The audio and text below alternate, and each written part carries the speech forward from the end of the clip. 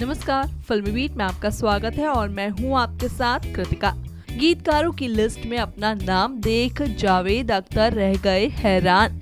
वरिष्ठ गीतकार जावेद अख्तर ने शुक्रवार को कहा कि उन्होंने Vivek Oberoi starrer film PM Narendra Modi के लिए कोई गीत नहीं लिखा है। उन्होंने कहा कि वो फ़िल्म के ट्रेलर के क्रेडिट्स में अपना नाम देखकर हैरान रह गए। जावेद ने क्रेडिट्स की एक तस्वीर शेयर की, जिसमें गीतकार प्रसून जोशी, समीर अभेंद्र कुमार उपाध्याय शारदा पैरी जी और लवराज के साथ उनका नाम भी दिया गया है। जावेद अख्तर ने ट्वीट किया, मैं फ़िल्म के पोस्टर में अपना नाम देखकर हैरान हूँ। मैंने इसके लिए कोई भी गीत नहीं लिखा है। बता दें, विवेक ओब्रॉय, पीएम मोदी के ऊपर बन रही बायोपिक में उनका रोल निभाते नज़र आएँगे। पीएम मोदी से इस बायोपिक में बॉलीवुड के सीनियर एक्टर मनोज जोशी, अमित शाह की भूमिका निभाएँगे।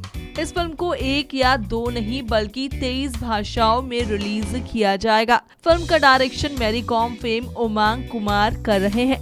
वे सुरेश ओब्रॉय और संदीप सिंह इस फ़िल्म का निर्माण कर रहे हैं। वैसे आपको बता दें कि पीएम नरेंद्र मोदी बायोपिक के मेकर्स को जावेद अख्तर ने लताड़ लगाई है। इस फ़िल्म के ट्रेलर को होली के मौके पर दर्शकों के सामने पेश किया गया, जिसे दर्शकों ने काफ़ी इंजॉय भी किया है। ट्रेलर को जिस तरह का रिस्पांस मिला है, उससे माना जा रहा है कि ये फ़िल्म सिनेमा घरों में धमाल मचाएगी। हालाँकि रिलीज़ से पहले ये बायोपिक फ़िल्म एक विवाद में फंस गई है। असल में निर्माताओं ने पीएम नरेंद्र मोदी बायोपिक का एक पोस्टर रिलीज़ किया, जिसमें जाने माने लेखक जावेद अख्तर का नाम सॉन्ग राइटर के तौर पर लिखा गया है। इससे हर किसी को लग रहा है कि जावेद अख्तर ने इस फ़िल्म के लिए गाने लिखे हैं। हालाँकि ये बात सच बिल्कुल भी नहीं है।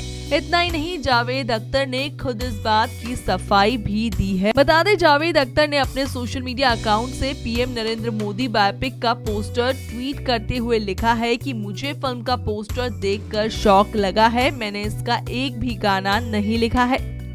हालाँकि अब जावेद अख्तर का नाम पोस्टर पर कैसे आया, ये तो अभी तक पता नहीं चल पाया है, क्योंकि मेकर्स ने लेखक के ट्वीट का जवाब नहीं दिया है। देखना दिलचस्प होगा कि इस फ़िल्म के मेकर्स इस पूरे विवाद पर कब तक जबान खोलेंगे। फ़िलहाल इस वीडियो में बस इतना ही, लेकिन आप हमारे चैनल को सब्सक्राइब करना ना भूलिएगा।